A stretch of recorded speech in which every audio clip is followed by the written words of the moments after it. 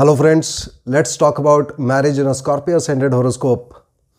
As you know, this is the sign number 8 of Scorpio. Mars is the lord of this sign. Scorpios are generally very physically strong people and they are very, very loving people. They make friends very fast. The small issue is that they are on emotional extremes. That is, they can also get angry very fast and very quickly. And when they become angry, then they shout in a very loud voice. And this they should take care of. The second issue is that as husbands, wives, they need a lot of appreciation and compliments. And when they are not appreciated or when they are criticized by their wife or husband, then they feel very low, very dejected, depressed. These kind of things happen to them. So in case you are a Scorpio or in case your wife or husband is a Scorpio, then do give them a lot of compliments. And when we look at the horoscope itself, Mars is the lord of the Lagna and the Mars is the lord of the sixth house. The sixth house also indicates disagreements, etc. But the combination of this first and sixth house indicates that the person will be a very hardworking person and Scorpios will find will generally be very hardworking and they would like to serve especially their children and all. They will take very good care of them. In addition in the same horoscope we look at mercury. Mercury is the lord of the 11th house which is the house of wish fulfillment but mercury is also the lord of the 8th house which gives all kind of troubles and issues. But the combination of 8 and 11 here will indicate that the person will get a dowry. Looking at the 7th lord the 7th lord venus is also the lord of the 12th house. The 7th house indicates marriage, the 12th house indicates weakness or some relation to connection to foreign countries or abroad in the marriage. With this basic understanding, we will move forward to how to look for the timings of marriage and other factors. And when we look at all these timings and other factors, we must look at the seventh house, which indicates marriage, the 11th house, which indicates wish fulfillment, profit gains, or the person getting married, and the second house, which indicates an increase in the size of family. Sign number 9 is written here, Jupiter is the lord of this sign. So we will first see what will happen when Venus, which is the lord of the 7th house, is placed in all the 12 houses of the horoscope.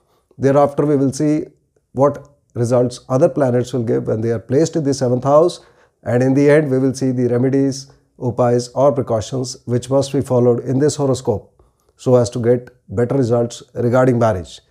Looking at the 7th Lord Venus first, when Venus is placed in the first house, Venus is opposite its own sign and becomes detrimental. Out here we'll find that the person because of effect of Venus will be very attractive and however Venus being detrimental will give a little bit of issues in the marriage but overall the position is still okay and will support marriage.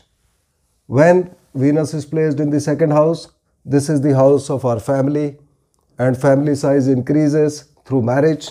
The marriage may occur because of connection which is made between the husband and wife through some very close relative and that could be a female relative under the effect of Venus. When Venus is placed in the third house, Venus is in the sign number 10 which belongs to its friend Saturn and in this case it will support the marriage and the marriage will occur through advertisements, communications, networking, some marriage apps or sites etc. Also the younger sister or brother of the person can be instrumental in the meeting of the partners. When Venus is placed in the fourth house, fourth house reflects our home or house and Venus being the lord of seventh house also, we may find in this case the person may be involved in the business of property, etc. And regarding the marriage, we'll find that the person will get married in their own hometown. When Venus is placed in the fifth house, this is the sign number 12, which is Pisces, and Venus becomes exalted in the sign and becomes very good to give good results regarding the marriage. Also, the fifth house itself is a trine house which is considered a very auspicious house and the fifth house represents love affairs. So the Lord of marriage coming to the house of love affairs indicates a very strong possibility of the person having a love marriage. When Venus is placed in the sixth house, Venus is opposite its own sign and becomes detrimental. Now here Venus is giving the effects of the sixth house as well it, it is the lord of the 12th house also so it will indicate some kind of disagreements, disputes and separation between the partners. When Venus is placed in the seventh house, Venus has come to its own sign, Taurus, and gives a very important yoga and a very auspicious yoga which is called the Malavya yoga and becomes very strong to give good results regarding the marriage and under the effect of Venus. The spouse, that is the wife or the husband of the person, will be very good at maintaining relationships. They will be very sweet in nature and they will have a good personality. When Venus is placed in the 8th house, 8th house is the house of all issues and troubles and Venus is also the lord of the 12th house so the combination indicates some kind of troubles. However, when the person gets married it will be in the Mercury period so this will indicate that the person will get dowry during the marriage. When Venus is placed in the 9th house, 9th house is an auspicious house, it is a trine house and gives good results regarding the marriage and there is a likelihood that in this case the marriage may have some connection to foreign country or abroad or the person may get married quite far away from his hometown and the offer of marriage may come from the side of the other party. When Venus is placed in the 10th house, 10th house is the house of our profession and so the lord of marriage coming to the house of profession indicates that the partners may meet each other through their professional circles, through their colleagues, etc. When Venus is placed in the 11th house, Venus becomes niche here or debilitated. So the condition of cancellation of debilitation or niche Yog must be checked carefully. Even then the 11th house is the house of wish fulfillment and the Lord of marriage has come to the house of wish fulfillment and fulfills the wishes of the person to get married. When Venus is placed in the 12th house, Venus has come to its own sign and becomes quite strong. And we may find the person here spends a lot of money on branded things, on buying good things, artistic things, etc. And this position will indicate a tendency towards a little bit of separation between the partners. However, when it is connected good houses, it will indicate that the marriage may have a connection to abroad or the spouse, that is the wife or the husband of the person, may have some connection to a foreign country.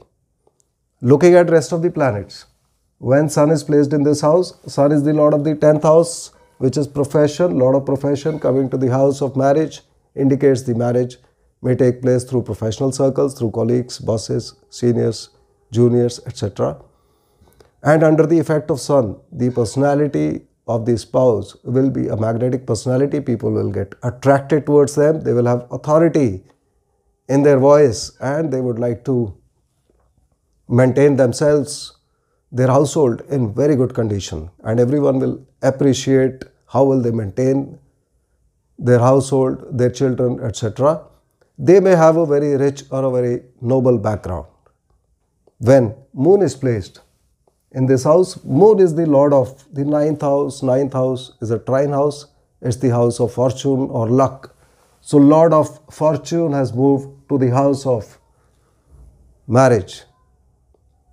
Also, in this sign, number two, Moon becomes exalted, so becomes very strong to give good results. So, Moon air will give very good results, and we will find that the spouse of the person may have the nature of moon and a mix of uh, Taurus. That is, they will be quite fair and good looking. They will have a very nurturing nature. They would want to maintain their relationships quite well. They will take good care of their husbands. However, they will have emotional ups and downs.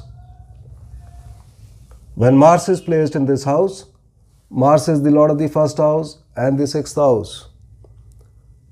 This combination indicates that the person will marry at their own wish and will. Initially, they may refuse to get married, but later on they may agree to it and they say that now I will get married. Also, the Lord of sixth house coming into the seventh house, house of marriage indicates there may be disagreements between the partners and in case the Dasha Antardasha is connected to Sun in any way, in that case, the couple will get a divorce. In case Mercury is placed in this house, Mercury is the lord of the 11th house and the 8th house. The 11th house is the house of wish fulfillments, profit gains. And the lord of wish fulfillment coming to the house of marriage indicates that the person will get married during this period and the person will get dowry during the marriage. When Jupiter is placed in the seventh house, Jupiter is the lord of the second house. The second house indicates our family, an increase in family size and supports the marriage. And Jupiter is lord of the fifth house, which indicates love affairs. So the lord of love affair moving to the house of marriage gives a very strong possibility of the person having a love marriage in this case under the effect of Jupiter, the personality of the spouse will be fair looking, they will have wisdom in their voice, they may have a slightly heavy upper top body and they will give good advice or be good counselors. When Saturn is placed in this house, Saturn is the lord of the fourth house and Saturn is the lord of the third house. Overall, the position of Saturn is okay and in this case the person may get married in their hometown and the offer of marriage may fructify through advertisements, communications, dating site, dating apps, etc. However, we must remember that Saturn is a significator of delays. And so, when Saturn is placed in this house, it will give delays in the marriage. Also, when Saturn is aspecting the seventh house, in that case also Saturn will give the delays and Saturn will aspect the seventh house when it is in the first house, in the fifth house, or in the tenth house. So we must take care about this factor. When Rahu and Ketu are placed in the seventh house, the results of Rahu Ketu can be told after looking at the conjunctions and aspects on these two planets because on their own they do not own any houses. So the horoscope must be seen to tell their exact results. Overall, we'll see under the effect of Rahu and Ketu, the person will get married, inter-religion or intercaste. So overall, when we look at this horoscope, the 7th house, Lord Venus and the 11th house, Lord Mercury are the most important planets in this horoscope regarding the marriage. And so we must do the remedies accordingly. So the first remedy is on Fridays, feed cows green fodder. The second remedy is a lifetime habit. A good habit is to be always well dressed, whether you are outside or inside your house. The third remedy is on Wednesdays, feed birds on an open ground. Please remember to feed birds on an open ground, not on terrace, not on rooftop. And the fourth remedy is once again a lifetime good habit to always be at your best behavior with young girls, small girls, especially your daughters. Doing these things, taking these simple precautions, will enable these planets to give you even better results in your horoscope.